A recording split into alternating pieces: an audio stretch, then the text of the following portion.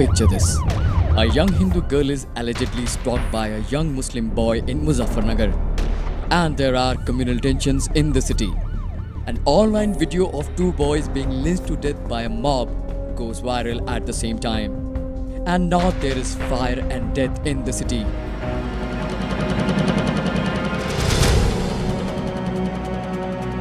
Turns out, the video actually records the lynching of two Pakistani boys in the city of Sialkot.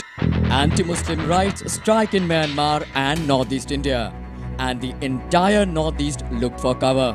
Online images of anti-Muslim riots go viral at the same time, followed by panic messages through mass SMSs. And there is an exodus of Northeasterners from various parts of the country. For all the dark hints of a cyber jihad, investigators who combed through some 5 million text messages and tens of thousands of websites found no hint of single point authorship. A new virus seems to have found home in cyberspace. This virus is emitting its poison into the very fabric of our society through remote infection. Who is spreading this viral disease? Where has the virus come from? Cobra Post Associate Editor Syed Masroor Hassan pierces through the diseased world of online social media to expose the germ of the disease. This is Operation Blue Virus.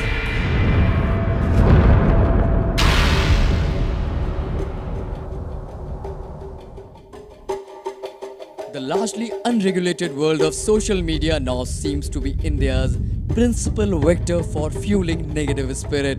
Highly inflammable online content finds credibility in an already charged online climate of hate and distrust. Operation Blue Virus exposes the social media companies in the business of generating vituperative online content in exchange for a fee. This investigation uncovers the subversive activities of these companies that are in direct violation of the law of the land. Representation of the People Act, the Information Technology Act, and several provisions of Indian Penal Code. Cobra Post presents the chilling truth behind social media campaigns, and you are watching Operation Blue Virus.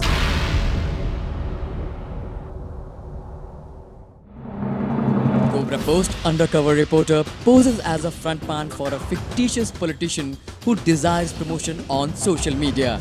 In addition to promoting the Netaji, he desires an intense negative propaganda for the fictitious Netaji's fictitious opponent.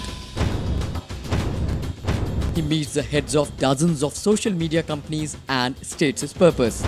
The services offered collectively by these companies and the processes adopted by them range from unethical to illegal. They were willing to generate a vast fake following on Netaji's Facebook page by generating lakhs of fake online profiles. They offered to make fake profiles of Muslims and add fake Muslim followers to it. This is their attempt to attract a large Muslim following. They then use the platform to generate positive propaganda about the client and negative comments about his opponent. They were willing to generate negative propaganda for Netaji's opponent on online forums. Their team members will join online public forums and post comments from these forums such that it appears to be coming from the common man. They offer to make inflammatory videos go viral on the internet. They have arrangements with cyber cafes for the task, where surfers are hired on an hourly basis to fabricate Facebook likes. They have developed an in-house database of personal, vocation and location information of 14 adults. They offer this database for customized sorting on the basis of caste, age, income level, and locality. They use dynamic IPs and computers physically located outside of India to avoid tracing the source of online content.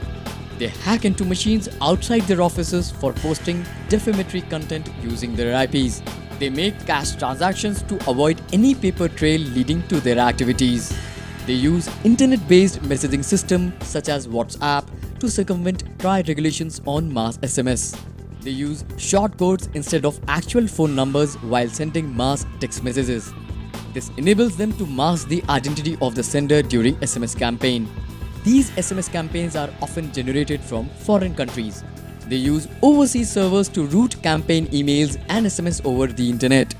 They have developed strategic applications for smartphones that push campaigns to the users, even during the three days prior to the elections when Election Commission forbids further campaigning.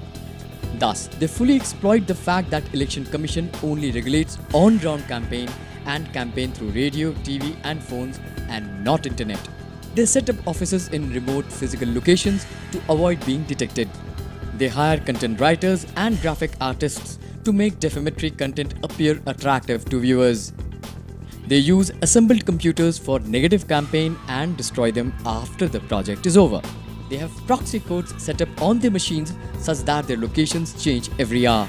Some of these companies are listed companies. They make sure their company is fully insulated from the negative campaigning. They often have arrangements with NRIs in countries such as Philippines to do the job. In addition, they port the negative content online from countries such as China, US and UAE. They employ IT professionals from IT companies in cities such as Bangalore.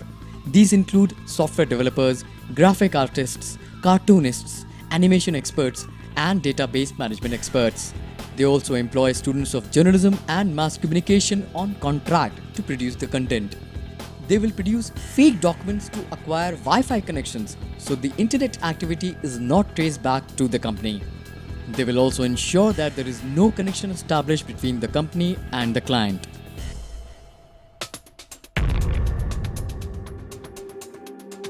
Social media is expected to play a big role in the forthcoming assembly and national polls.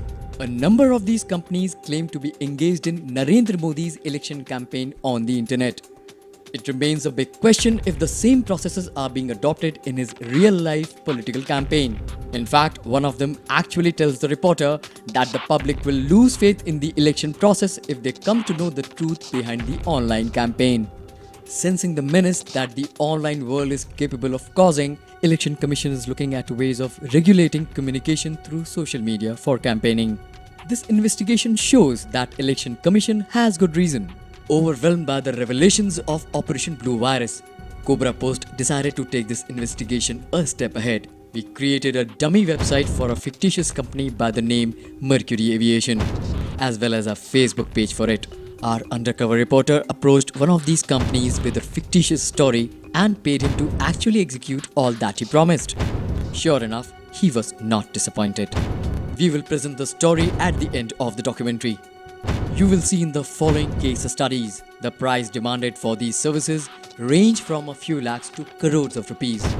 Research shows that the social media sites such as Facebook, YouTube and Twitter are more persuasive and accessible than television ads. According to Internet and Mobile Association of India, there are 87 million mobile internet users. With mobile penetration into rural landscape, internet is not a privilege for the urban few anymore. Bear that in mind as you watch Operation Blue Virus.